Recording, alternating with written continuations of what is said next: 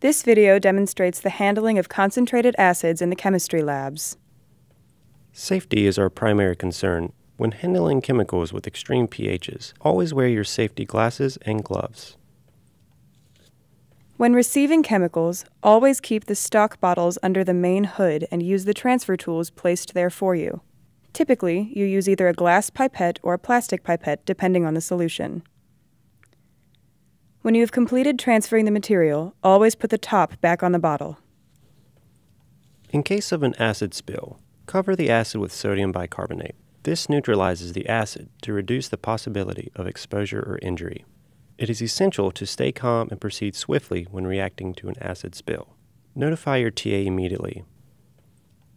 Properly neutralize and dispose of all acids in the labeled container in the waste hood located in the corner of the chemistry laboratory room.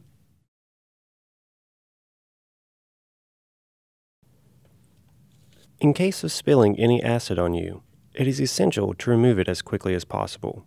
Be prepared. Watch the safety video, how to use the eyewash slash shower in the organic labs.